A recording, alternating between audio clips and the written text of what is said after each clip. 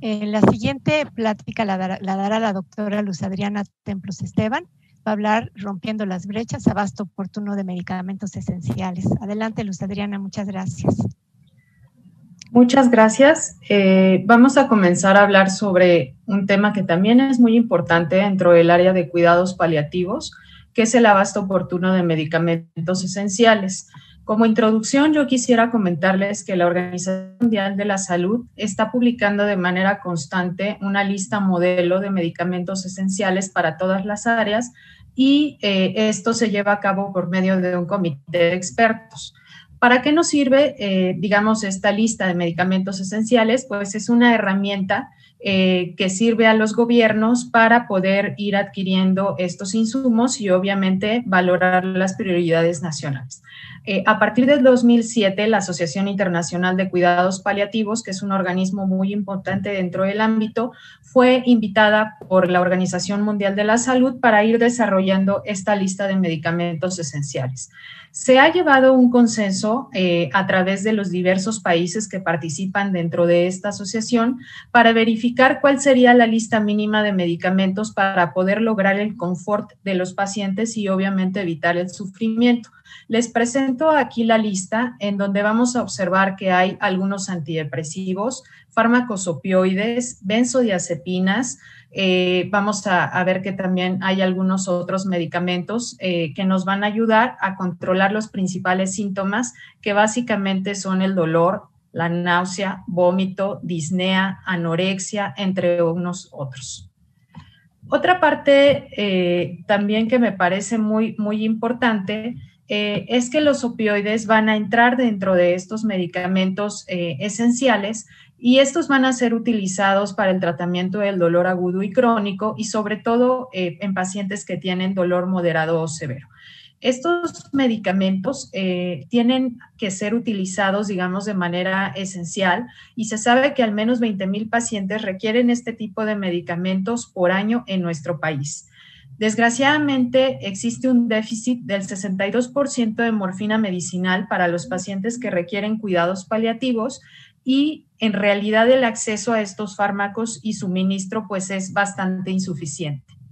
Hasta hace 10 años, si nosotros comparamos lo que consume México per cápita de morfina a lo que utiliza América Latina, pues estamos muy por debajo de los estándares.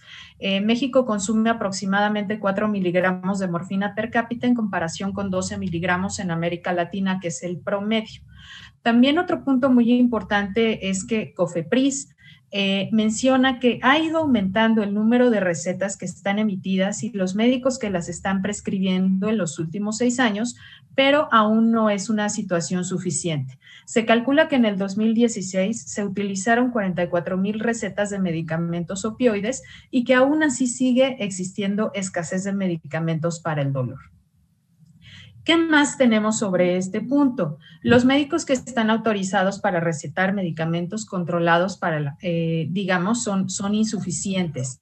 Eh, ya lo vimos ahorita hace un momento, falta capacitación en este sentido. También se han hecho sobre los servicios de cuidados paliativos que existen en la Ciudad de México y sabemos que nueve de los 57 hospitales que están en la Ciudad de México no cumplen con los estándares establecidos eh, para lo que es la atención de cuidados paliativos. ¿Cuáles son los medicamentos que más se están prescribiendo en nuestro país? Pues tramadol y buprenorfina, siendo que no son los medicamentos más baratos para poder, eh, digamos, paliar los síntomas. En la última década, la producción de morfina aumentó solo un 30%, cuando la demanda estimada pues ha sido mucho mayor. No hace mucho tiempo se aprobó el Grupo Terapéutico de Cuidados Paliativos y esto eh, es un punto muy importante para ir actualizando el Compendio Nacional de Suministros Sanitarios. Eh, los medicamentos que se, eh, digamos que están dentro de este compendio incluyen benzodiazepinas, antidepresivos, neurolépticos y algunas benzodiazepinas, pero nuevamente tenemos datos de que la distribución no es suficiente en todos los estados. Básicamente tenemos una buena distribución, eh, digamos, en los estados grandes o, digamos, cercanos al Distrito Federal, pero si un paciente está alejado, digamos, de de esta situación va a ser muy complejo que pueda conseguir su medicamento. Otro punto también muy importante es que recién eh, en nuestro México se ha aprobado un reglamento para los fármacos cannabinoides que en algunos otros países ya se utilizan para control eh, de analgesia, vómitos y la mejora del apetito. Ya tenemos como tal en México la regulación para permitir el uso de los cannabis, pero no existen formulaciones para prescripción actualmente. Entonces, esto también es un punto muy importante. Otra situación también bien importante que estamos viviendo en el país es que durante esta época de pandemia hay un desabasto como tal de los fármacos que necesitan los pacientes al final de la vida. Los medicamentos que se requieren para controlar dolor y algunos otros síntomas que obviamente están siendo utilizados en estos pacientes que están eh, enfermos por COVID y que tienen una neumonía grave, han ocasionado que la distribución no sea suficiente dentro de todos los países, por lo que inclusive Naciones Unidas ha alertado para que se puedan hacer las políticas públicas y que obviamente se logre este acceso para todos los pacientes.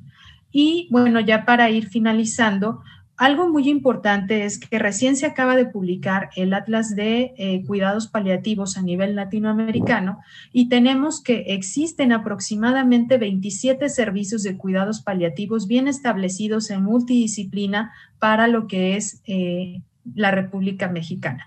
Esto es un punto muy importante porque tenemos un déficit del 79% de acuerdo a la infraestructura que deberíamos de tener y obviamente si no tenemos servicios de cuidados paliativos, si no tenemos un abasto oportuno de medicamentos, va a ser muy complejo poder eh, de alguna manera satisfacer las necesidades que se tiene para estos pacientes al final de la como conclusiones, hay una falta de equipamiento e infraestructura de los servicios de cuidados paliativos. El personal de salud, los pacientes y sus familias deben de estar capacitados en la administración de analgésicos opioides y cannabis en los diferentes niveles de atención médica. La doctora Medina Mora y el doctor eh, Roberto Tapia nos acaban de comentar eh, sobre unas iniciativas que son importantes para poder lograr esta capacitación, digamos, en todos estos grupos. Hay barreras culturales y y algo muy común es eh, el término de opiofobia, en donde hay miedo a utilizar este tipo de medicamentos. Se requiere de manera urgente mecanismos para establecer políticas públicas que permitan un acceso a este tipo de fármacos con fines analgésicos y para controlar adecuadamente los efectos generados por sobredosis. Faltan prescripciones eh, farmacéuticas para poblaciones pediátricas. En nuestro país no tenemos acceso a este tipo de formulaciones. Y un punto muy importante es que definitivamente eh, la República Mexicana no es el único sitio donde hay déficit o no hay un abasto oportuno de estos medicamentos esenciales. Es muy importante tomar en cuenta eh, esta situación, obviamente, para poder lograr una buena calidad en la atención. Muchas gracias.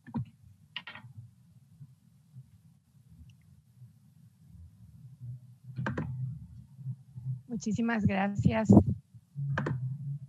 Muchísimas gracias, doctora Luz Adriana Templos.